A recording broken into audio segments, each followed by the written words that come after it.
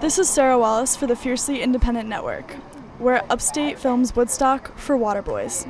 My name is Maarten van der Ven and I'm the producer for the feature film Waterboys. It's a father-son road trip. Uh, adolescent son, they both uh, get thrown out of their houses by their women because of different reasons. The father is really this big-mouthed charmer who, well, has slept slept around, and uh, his wife's fed up with that finally. And the son is completely the opposite. He, his girlfriend would love to stand up that he stands up a little bit more like a like a, a macho man.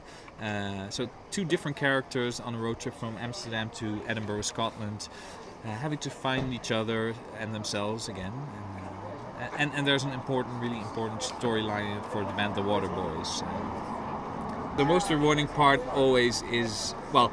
I must say we had a great team, and, and, and the app the app group is still existing. So the friendship with the people who, whom we shot it two years ago is still really great. So that's one rewarding thing. But the best thing is to come to places like these and, and, and feel an audience like grasp and laugh and yeah, and, and that's that's great. You know, that, that's made all the effort and, and blood, sweat, and tears worth it if you feel an audience like that.